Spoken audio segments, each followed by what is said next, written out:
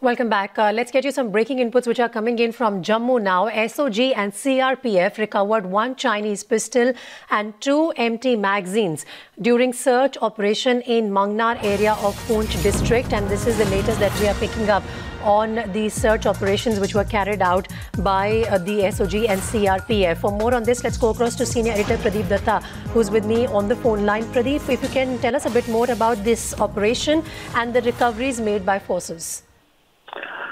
For the last two, three days, in fact, the search operation is going on in different places. But since uh, security forces had been able to recover the consignment of arms and ammunition, that was basically meant for Lashkar-e-Taiba terrorists operating in Kashmir Valley.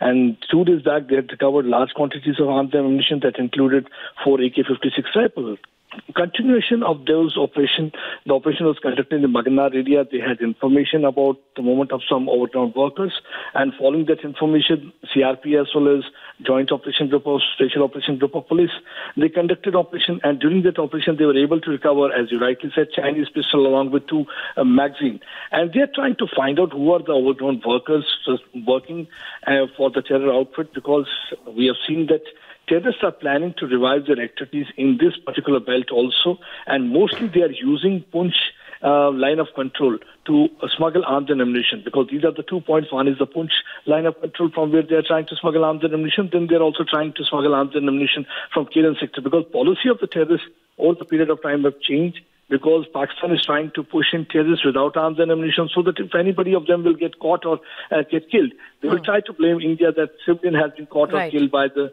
uh, by Indian forces.